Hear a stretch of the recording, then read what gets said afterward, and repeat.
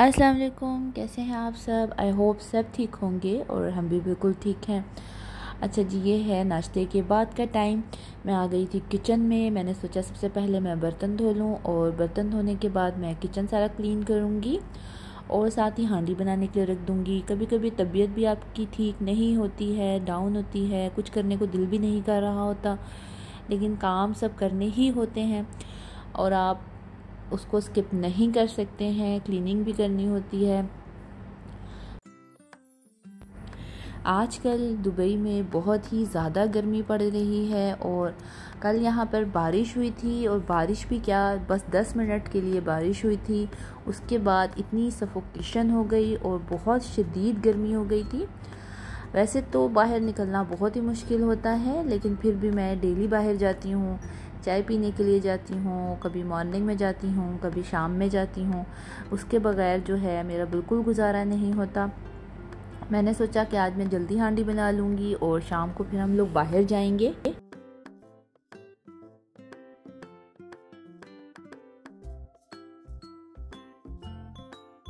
अच्छा जी किचन यहाँ पर हो गया था, सब क्लीन अब मैं आ जाती हूँ हांडी की तरफ़। मैंने आज गोभी बनानी थी तो मैंने गोभी पहले ही कट कर ली थी। और अब मैं जो होती है जिंजर और गार्लिक, उसको कट कर लूँगी, टमाटर कट कर लूँगी। छोटे छोटे काम करते करते आपको पता ही नहीं लगता किचन में आपका कितना टाइम लग गया है। यहाँ पर मैं गोभी के अंदर डालूँगी चिकन। मैं गोभी आलू नहीं खाती तो मैंने उसके अंदर चिकन ऐड करना है। और चिकन की मैं जो जिस तरीके से मैं फ्रीज़ करती हूँ, मैं आपके साथ ज़रूर शेयर करूँगी। मैं चिकन जब हम पाकिस्तान में थे तो चिकन नॉर्मली पैकेट्स में बनाकर हम रख देते थे। अच्छा यहाँ पर ये है कि मैं, हम दो ही बंदे थे तो मुझे जब बनाना होता था तो मुझे आइडिया ही नहीं होता था कि हम लोग जो हैं, मैं कितने पीसेस डालूँ और ये कितने पैकेट में कितने पीसेस होंगे। बहुत दफ़ा एक्स्ट्रा हो जाता था। फिर उसके बाद जो फ्रोज़न चिकन मिलता है, ये दुबई में सादिया वालों का है और अमेरिकाना है। यहाँ से जब मैंने फ्रोज़न चिकन लिया तो मुझे आइडिया हुआ कि उसमें आप देखें तो हर पीस अलहदा अलहदा फ्रीज़ किया हुआ सेपरेट होता है। उसके बाद से मैंने क्या किया, जब मैं चिकन लेकर आती हूँ, मैं वॉश करके उसको अलग अलग पीसीज ही उसको फ्रीज़ करती हूँ और बाद में उसे निकाल कर ज़िप लॉक बैग में डाल देती हूँ। वो मैं आपके साथ शेयर करूँगी। इससे ये फ़ायदा हो गया कि अगर मुझे सब्ज़ी बनानी है, उसके अंदर मुझे दो तीन पीस ऐड करने हैं तो सिर्फ़ दो तीन पीस ही मैं निकाल लेती हूँ। अगर मुझे राइस बनाने हैं, मुझे ज़्यादा चिकन चाहिए तो मैं देख कर उसमें से ज़्यादा चिकन निकाल लेती हूँ। अगर हम इकट्ठा करके पैकेट रख देते हैं तो उससे हमें थोड़ी मुश्किल होती है। हम ये यहाँ पर आप देखेंगे कि मैंने एक शॉपर को कट करके उसको मैंने फ्रीज़र में फैला दिया था और ओवरलैप किया हुआ है। इसके ऊपर मैंने सेपरेट पीसेस जो हैं, देखें फ्रीज़र में रख दिए थे। अब ये बिल्कुल जम चुके हैं। अब मैं इसे ज़िप लॉक बैग में रख लूँगी। और मुझे अभी जितने पीसेस चाहिए मैं निकाल लूँगी और मैं साथ ही हांडी बना लूँगी। ऐसे ही मुझे याद आ गया कि कुछ दिन पहले मेरी हेल्पर आई हुई थी तो उसने फ्रीज़र खोला तो वो हंसने लगी, कहती है, आपने तो चिकन को बहुत ही फैला कर रखा है।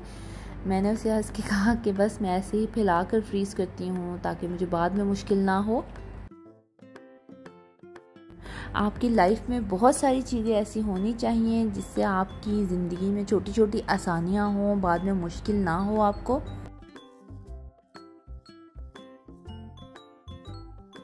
साथ ही मैंने आटा गूंदना शुरू कर दिया था। देखने में लगता होगा कि मैं बहुत भाग भाग कर काम करती हूँ, ऐसा कुछ नहीं है।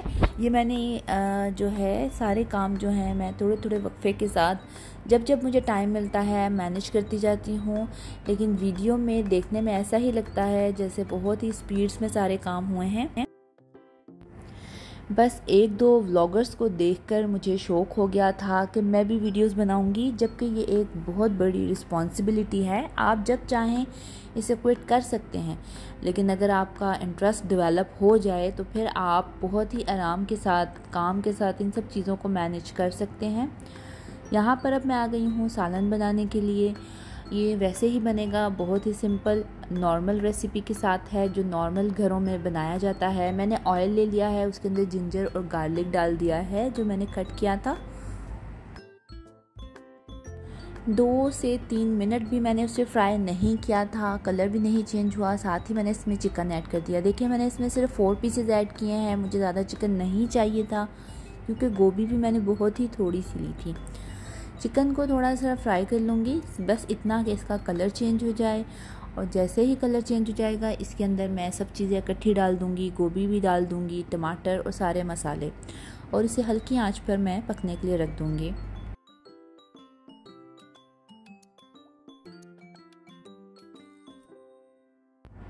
और दम में ये पकता रहेगा और उसी गोभी के पानी में हमारा चिकन भी गल जाएगा और बाद में मैं इसे भून लूँगी। और आप जितने भी देखने वाले हैं, मेरी वीडियो को प्लीज़ शेयर किया कीजिए और लाइक भी किया करें। यही एक रीज़न है जिसकी वजह से मोटिवेशन मिलता है कि नेक्स्ट वीडियोस हम बनाते रहें। यहीं तक था आज का मेरा व्लॉग नेक्स्ट व्लॉग के साथ आऊँगी, तब तक अल्लाह हाफिज़।